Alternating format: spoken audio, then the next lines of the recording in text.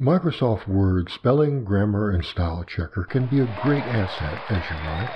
The checker underlines misspelled or unrecognized words in red and grammar and style concerns in blue. You can access your spelling and grammar checker by going to the Review tab and selecting Spelling and Grammar. The tool will quickly run a check on your document.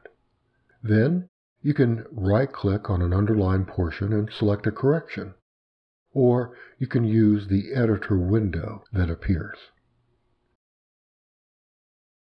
The newer versions of Word also have a read aloud option. It's impossible for a writer to accurately proofread his or her own document. But hearing your document read in another voice will often alert you to problems that you missed. To access this tool, click on the Read Aloud Speech option in the Review grouping. Then use the toolbar that appears. I recommend first clicking on the Settings tool and adjusting reading speed to below the halfway mark. Now, click on the play arrow to begin. Using word spelling, grammar, and style checker.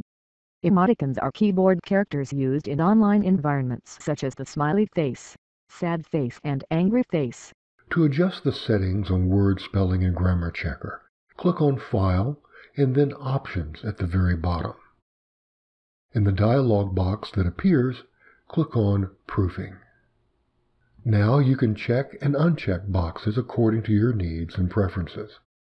For example, here you can turn off the Check Spelling as you type function, which some writers prefer to avoid interrupting their train of thought. Next to Writing Style, you can select to check Grammar Only or Grammar and Refinements. To get the most benefit, select Grammar and Refinements. To toggle these elements on and off, click on Settings. The Grammar Settings window appears. You can see that the grammar items are enabled by default. However, notice that most of the options toward the bottom are not enabled. Tick the checkbox next to any rule you want to enable. For example, if you're writing a document that should not contain contractions, place a tick in that box. Upon rechecking our document, notice that the contraction has now been flagged. Do the same for other conventions that may apply to what you're writing.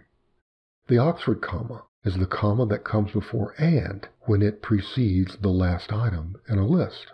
This comma is required in legal writing, for example. After checking this option, notice that the absence of a comma is now flagged in our sample document.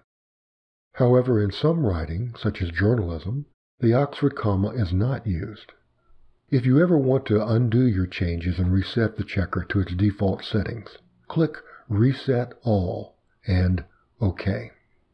Finally, keep in mind that this checker only alerts us to a potential problem. The checker leaves it up to us to know enough about the problem to make our own revision. As writers, we cannot rely solely on a computer program. Instead, we must use the information it provides to make our own decisions about our writing and its intended audience.